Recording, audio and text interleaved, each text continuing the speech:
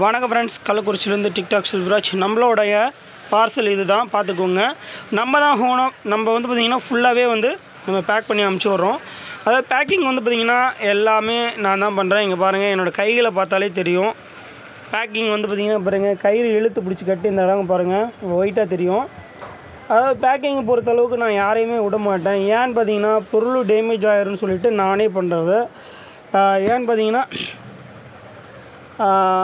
ஒரு பார்சல் வந்து நம்ம ஒரு கஸ்டமருக்கு அமுச்சு விட்றோம்னா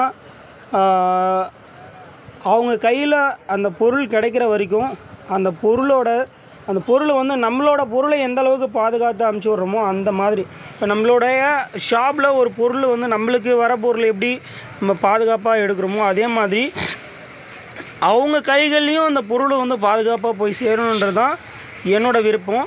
அதனால் எந்த ஒரு பேக்கிங்காக இருந்தாலும் நான் யாரையும் விடுறதில்ல நம்பி பேக்கிங்கை பொறுத்தளவுக்கு நான் தான் பண்ணி அமுச்சு விட்றேன்.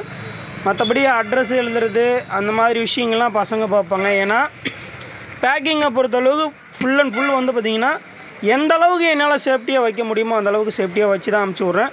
ரெண்டாவது இன்னொரு விஷயம் இந்த வீடியோவில் நான் சொல்லி அமுச்சிடுறேன்.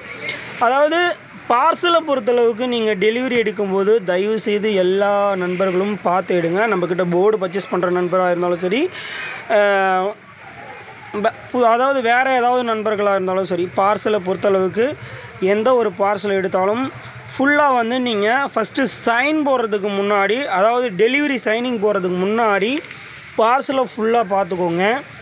பார்சல் வந்து ஓப்பன் ஆகிருக்கக்கூடாது ரெண்டாவது இந்த கட்டு எழுந்திருக்கக்கூடாது பார்சல் ஓப்பன் ஆகியிருந்ததுன்னா அங்கேயே கொரியர் ஆஃபீஸிலே வந்து பார்த்திங்கன்னா சைன் பண்ணாதீங்க.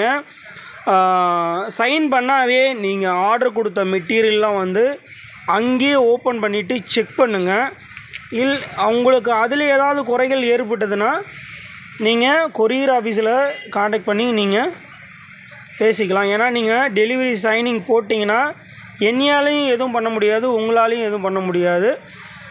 டெலிவரி சைனிங் பொறுத்தளவுக்கு நீங்கள் பார்சல் சேஃப்டியாக உங்கள் கையில் ஓப்பன் ஆகாத கிடச்சதுன்னா நீங்கள் சைன் பண்ணுங்கள் ஏன்னா ஓப்பன் ஆகாத கிடச்சின்னா அதுக்கு பொறுப்பு நம்ம. சப்போஸ் ஓப்பன் ஆகிட்டு நீங்கள் பிரிச்சிங்கன்னா தயவுசெய்து வந்து வருத்தப்படக்கூடாது என்கிட்ட. ஏன்னு பார்த்தீங்கன்னா ஏற்கனவே இந்த மாதிரி ஒரு நண்பர் ஒரு தவறு செஞ்சுருக்காரு. அதனால் சொல்லிவிட்டு நம்ம வந்து எங்கேயா இருந்தாலும் ஜாக்கிரதையாக இருக்கணும்னு சொல்லுவாங்க. அந்த மாதிரி நீங்கள் பொருளை பொறுத்தளவுக்கு ஒரு சின்னதாக வந்து பார்த்திங்கன்னா உங்களுக்கு எல்லா பக்கமும் பார்சலை பார்த்து டெலிவரி எடுங்க. ஏன்னா இந்த மாதிரி சம்பவம் நடக்கிறதுனால தான் அதாவது ஏற்கனவே ஒருத்தர் பார்சல் ஓப்பன் ஆகிட்டு ஒரு மெட்டீரியல் மிஸ் ஆகி அவர் டெலிவரி எடுத்து திரும்ப வந்து பார்த்திங்கன்னா நான் கம்ப்ளைண்ட் பண்ணவே முடியல. இப்போ டெலிவரி நீங்கள் எடுக்காத இருந்தீங்கன்னா என்னோடய சைட்லேருந்து நான் உங்களுக்கு கம்ப்ளைண்ட் பண்ணி கொரியர் ஆஃபீஸ் தான் அதை ஏற்றுக்கும் ஏதோ ஒரு பொருள் டேமேஜோ ரெண்டாவது ஒரு பொருள் மிஸ்ஸிங்கோ அது கொரியர் ஆஃபீஸ் தான் ஏற்றுக்கும் இதை எல்லா நண்பரும் புரிஞ்சுக்கணுன்றதுக்கு தான் நான் இந்த வீடியோ அப்லோட் பண்ணியிருக்கேன். ஓகே நண்பர்களே இந்த வீடியோ உங்களுக்கு பிடிச்சிருந்தா லைக் பண்ணுங்கள் மறக்காமல் செல்வராஜ் ஆடியோ சேனலை சப்ஸ்கிரைபர் பண்ணிக்கோங்க. நம்ம பார்சல் பேக்கிங் எப்படி இருக்குன்னு சொல்லிட்டு வீடியோஸ் கீழே உங்கள் கமெண்ட்டை தெரிவிங்க. நன்றி வணக்கம். மீண்டும் நம்ம அடுத்த ஒரு வீடியோவில் சந்திப்போம்.